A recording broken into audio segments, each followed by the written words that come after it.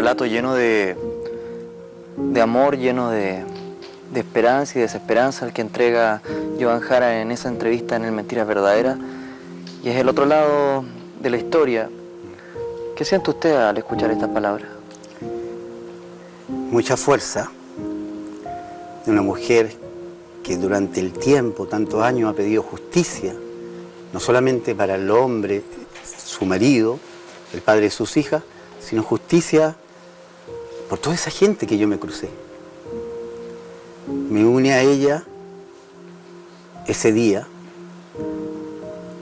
y a través de ella eh, sigue pidiendo lo que yo trataba de explicarme ese día.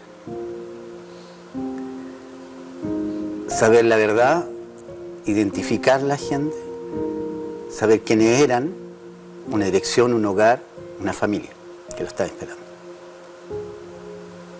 Muchos de ellos después no se pudo seguir haciendo identificación porque nos dijeron que se declaró tétanos y, debe haber una gran parte de desaparecidos, de chilenos, que desaparecen en ese minuto, esos días. mira qué curioso que ella hace mención a una fecha festiva, de bandera, alegría, que celebrar la independencia, la patria, resguardada por nuestras Fuerzas Armadas. Y ese 18 de septiembre fue enterrado Víctor Jara. Tres personas. Un sepulturero, un ataúd, Joan al medio, Héctor, un amigo de ella, y Héctor, el otro Héctor, que era yo en esos años, joven, lo enterramos sin flores. ¿Don Héctor? Un nuevo flores.